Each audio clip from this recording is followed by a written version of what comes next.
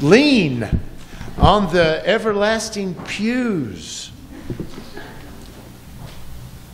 Well, Diana, you sing like a Baptist. You knew how to go leaning on Jesus, leaning on Jesus.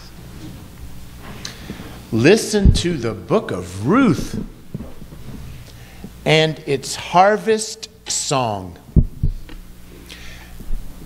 Listen to the book of Ruth and get a dose of what the Lord God intended when he looked down on a confused Adam and says, You know, it's not good for him to be alone.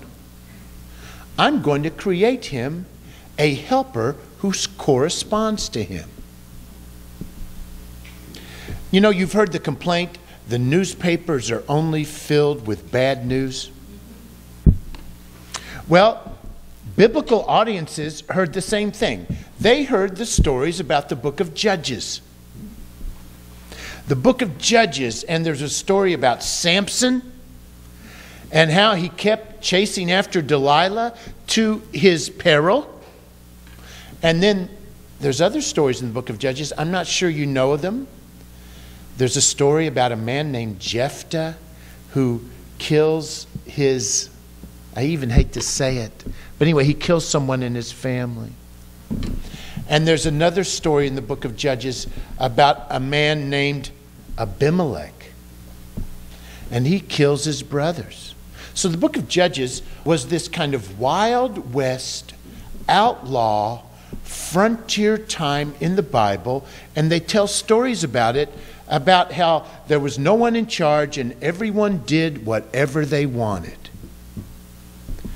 And then a wise and cunning storyteller said, Let me tell you another story about the time of the judges. About the time when the judges judged. And that is a story about Ruth and Naomi and Boaz. It was just like one of those radio tales from Paul Harvey on page two. The good side of the news. It was just like an O. Henry story about one person that cuts and sells her hair, the other person that sells his watch chain to complete and give each other the special gift. Listen to the book of Ruth and its harvest song. You know, we live in a faithless age with false glorification. All of a sudden, I hear soldiers called warriors, ball players, superstars, and any knucklehead who can croon and carry a tune is now called an idol.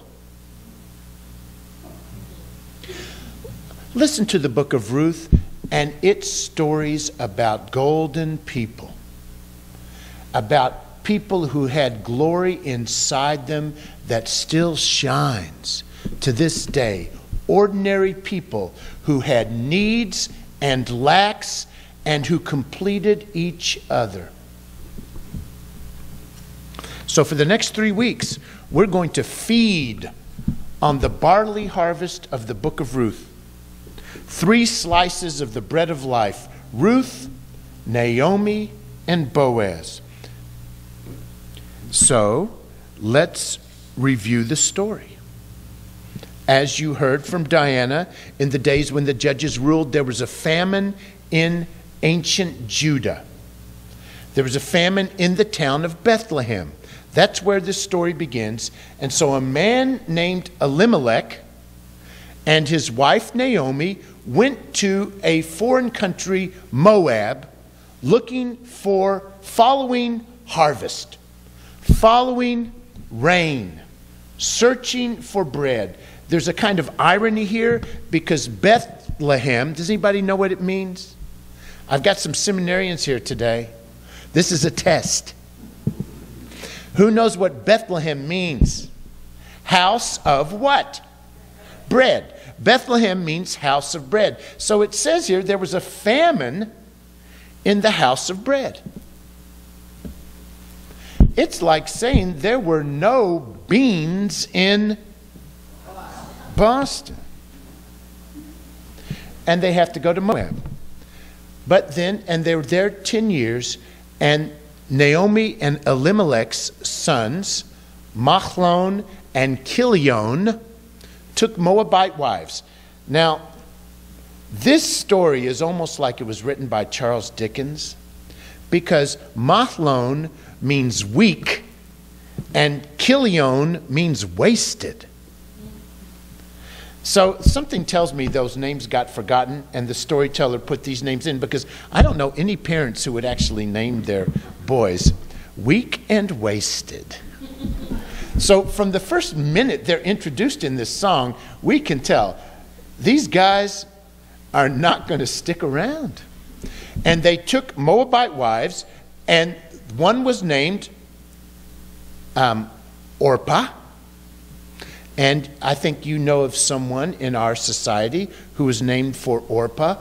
Only the woman writing down the birth certificate got two of the consonants twisted, and Orpah became Oprah. So we have Orpah and Ruth. But then Elimelech died, and those two boys died, and now we have Naomi, a stranger in a strange land, with these two daughters in law. So that's the beginning of the story. Do you all already know that? All right. Just want to make sure you're awake. I got to get some response from you. So now Naomi decides, I got to go back home to Bethlehem. Three times she says to her daughters, You guys stay here. Three times. And you should know that as a result of this story now, if you want to convert to be a Jew, to Judaism, you're supposed to be, you have to come three times to the rabbi before they will let you convert. Because in this story, Ruth is, has she had to keep, stay with Naomi even after Naomi said to her three times, Go away. So, first of all, Naomi says, You girls stay here, have lives, remarry, and Orpah and Ruth cling, uh, stay with her. They don't cling yet. Sorry, I'm getting ahead of myself. Then the second time, Naomi says, Come on, girls, you all stay here, have new lives. I'm going back home. And this time, Orpah, what? She kisses Naomi and says goodbye. But then it says, But Ruth, and this is what I want, this is the title of the sermon. But Ruth, what? Clung to her. And then the third time, Naomi says, Will you just stay? And then Ruth gives her great, beautiful speech that we've heard in so many wedding ceremonies. So they end up going back to Bethlehem. We're going to have plenty of time for more details, but now let's figure out what's going on in this story. So there's Ruth, who refuses to let go. There's Boaz, who dedicates, you don't know him yet, but you'll find out. Boaz is going to dedicate his resources to helping others. And there's Naomi who works behind the scene as matchmaker. See, the crazy thing about this story is it's called the Book of Ruth, but it could be called the Book of Naomi. And the other thing about this story, each of the characters lacks something they all are missing something. Ruth is the young widow in a new land. She needs a family. Boaz is the older man whom seems to have eluded Cupid's arrow all these years. He needs companionship. And Naomi has lost the most. Naomi has lost her husband. She has lost her children. She needs family too.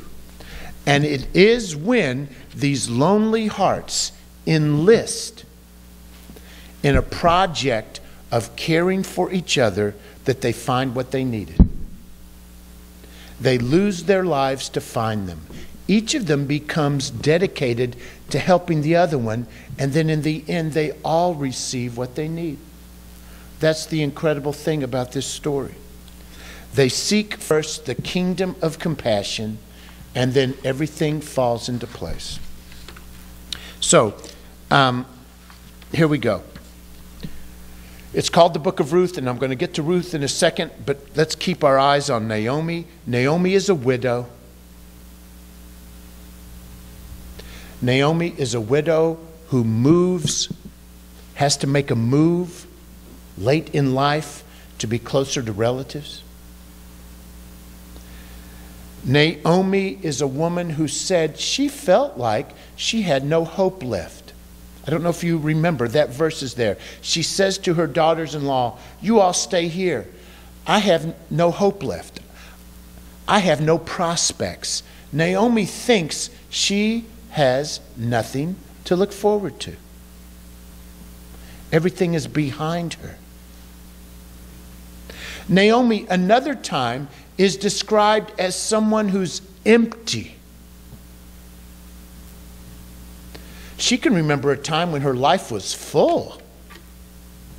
Sometimes it was too full. She never had the time to say, What's next? There was always people coming to her saying, What's next? And now she has no idea what's next. She describes herself as empty. Naomi, her name means sweet. When she finally gets back to Bethlehem, she says, Will you all stop calling me Naomi, sweet? Call me Mara. Mara means bitter.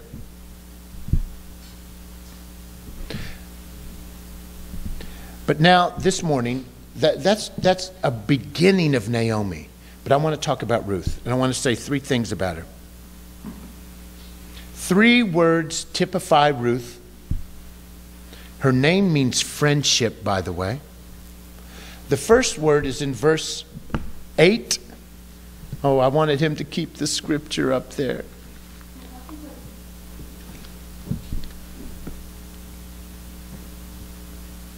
Yeah. Have we got verse 8 yet?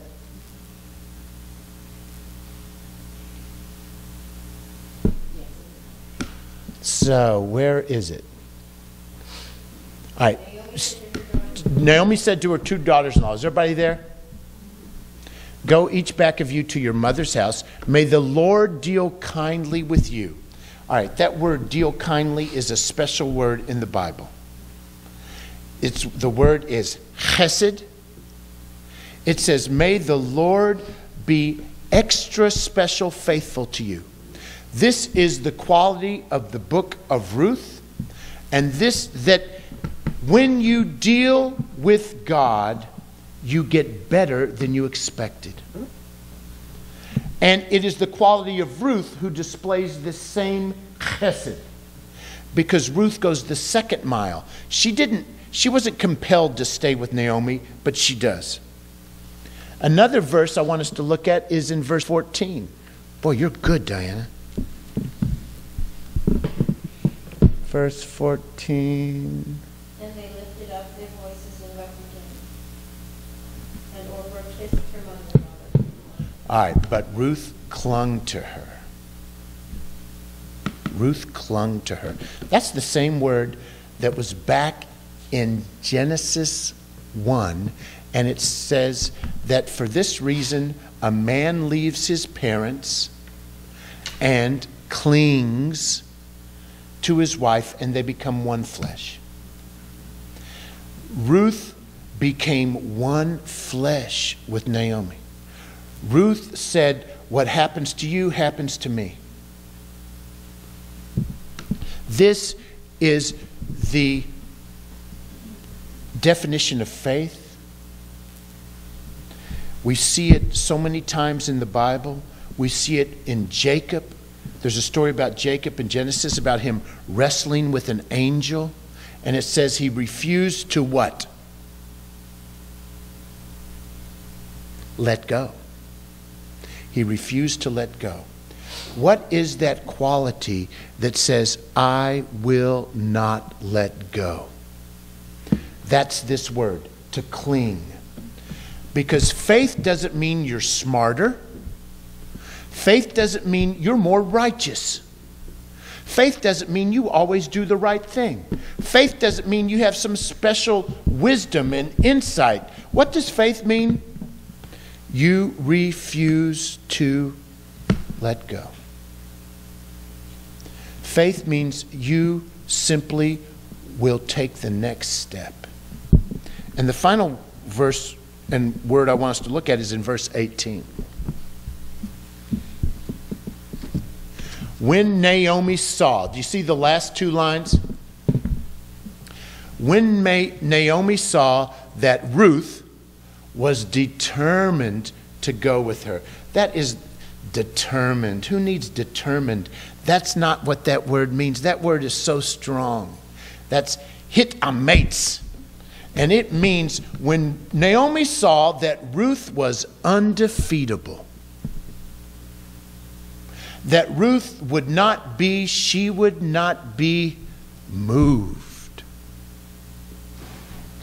That's the kind of faithfulness we're talking about, about just digging in and refusing to let go. So here they are. The widow, Naomi, the stranger, Ruth, and the orphan, because orphans come in all ages, a man named Boaz.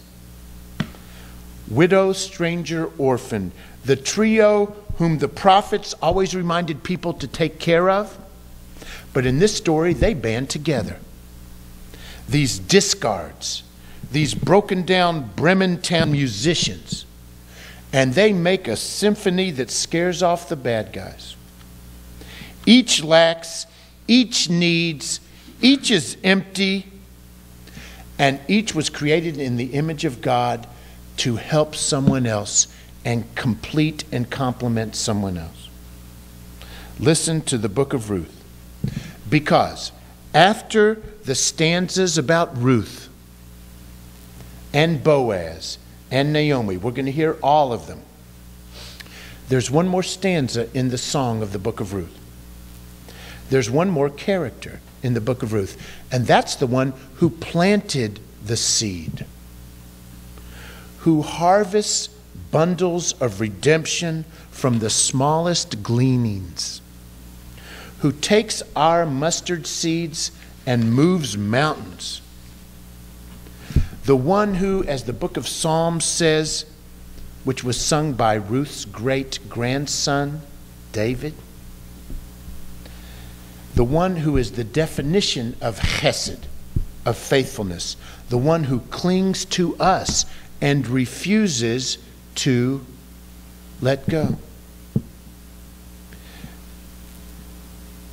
The one who refuses to let go of us, all our sins and griefs to bear. That's another stanza of this song. What a friend we have in Jesus. What's the message of the book of Ruth? It summons courage from us. It invites us to get off the dance floor and, per, and participate and engage and focus on the needs of others, and then we find our needs met. But even more, the book of Ruth is going to tell us the same thing that Paul wrote to a bunch of ancient Romans about one who clings to us and will never let us go. For I'm convinced that neither death nor life, nor present nor future, nor height nor depth, nor anything else in all creation can separate us from the love of God in Christ Jesus, our Lord. Amen.